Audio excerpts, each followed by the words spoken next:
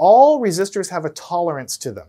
And that means they cannot make them exact. These are not super precision um, you know, numbers here. These uh, numbers that are printed on this, these resistors, they're not exact. So what I'll do is I will change my meter over here to ohms. So I'm going to measure the resistance over here. And then we'll start off by measuring this. This is supposed to be a 100 ohm resistor.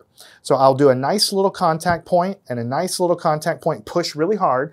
And what do I get? Do I get 100 ohms? No, I get 98.9 ohms. What about this one right here? This reads 50 ohms, but actually, what is it going to be? Not 50 ohms. It's going to be a little bit bigger or a little bit smaller. In this case, a little bit larger, 50.6 ohms. So it's not always bigger or smaller. It can go either way, and you don't really know until you measure it.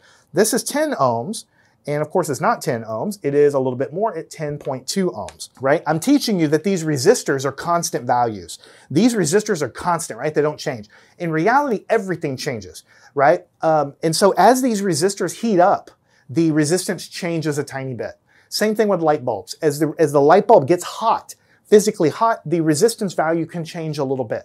So, but we, we ignore that and we say that these resistor values are constant and, unless you're just trying to do something extremely uh, precise, you have very, very accurate measurements or something you have to do. We just assume that everything is constant here. Learn anything at mathandscience.com.